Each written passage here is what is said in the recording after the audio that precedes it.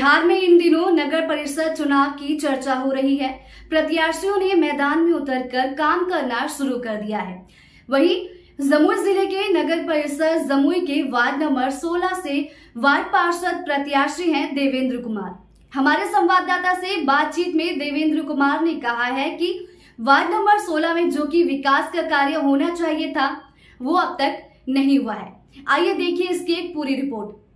देवेंद्र कुमार ने कहा है कि इस बार के नगर निकाय चुनाव में जमुई नगर परिषद के वार्ड नंबर 16 से वार्ड पार्षद का प्रत्याशी हूँ। अगर इस बार जनता को मुझे प्रतिनिधित्व करने का जो मौका देगी तो मैं अपने क्षेत्र में सरकार द्वारा सारी योजनाओं को धरातल पर उतारूँगा।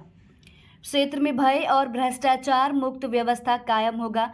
क्षेत्र में जल जमाव की समस्या को दूर करूँगा। देवेंद्र कुमार ने अपने क्षेत्र की जनता से अपील की है कि इस बार 2022 के नगर निकाय चुनाव में मुझे वार्ड नंबर 16 से वार्ड पार्षद के लिए समर्थन दीजिए। मैं आपको विश्वास दिलाता हूँ कि कभी निराश नहीं करूँगा और वार्ड नंबर 16 का बेहतर विकास करूँगा। देवेंद्र कुमार का चुनाव चिन्ह टेंपू छाप है, जो क्रम संख्या शून्य तीन है। उन्होंने क्या कुछ कहा, आइए देखिए। नमस्कार, आप देख रहे हैं आदर्श भारत टीवी और मैं हूँ आलोक राज। बिहार में इन दिनों चुनावी माहौल है, क्योंकि नगर निकाय का चुनाव होना है।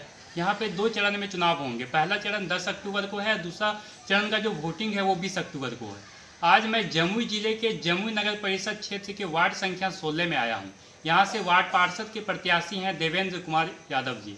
आज हम इनके पास आए हैं और इनसे जानने का प्रयास करेंगे कि आखिर क्या वजह है जो ये वार्ड पार्षद का चुनाव लड़ रहे हैं। और इस क्षेत्र की जनता अगर इनको अपना बहुमूल्य वोट दे के वार्ड पार्षद में चुनाव जिताती है तो ये अपने क्षेत्र में किस तरीके का विकास का काम करेंगे? देवेंद्र जी सबसे पहले आपका आदर्श भारत टीवी में बहुत बहुत स्वागत है। आप लोग को भी मेरी तरफ़ से धन्यवाद। जो हमारे दरवाजे पर आप लोग आए इसके लिए। आप तो अपने वार्ड से वार्ड पार्षद के प्रत्याशी हैं। क्यों क्या ऐसा कारण है जो आप वार्ड पार्षद के प्रत्याशी बने हैं और चुनाव लड़ रहे हैं? चुनाव लड़ने का मुख्य कारण क्या है? मुख्य कारण है कि नली गली जो भी यानी कार्य हमारे पिताजी के द्वारा किया गया था उसके बाद आधा अधूरा काम जो है हुआ है ढंग से काम नहीं हुआ है। हम चाहते हैं कि पिताजी का सपना जो अधूरा रह गया है वो हम पूरा करेंगे। अगर इस क्षेत्र की जनता आपके ऊपर विश्वास करके आपको अपना बहुमूल्य वोट दे के वार्ड पार्षद में चुनाव जिताती है तो आप क्या क्या विकास का काम करेंगे अपने पंचायत में या अपने वार्ड में? नली हो गली हो आवास हो जितने तरह का जो है हमारे तरफ़ से प्रयास होगा गरीब गुरुआ को सहायता पहुँचाने का हम प्राथमिकता क्या रहेगा? सबसे पहले ऐसा कौन सा काम आप करना चाहेंगे वार्ड पार्षद बनकर?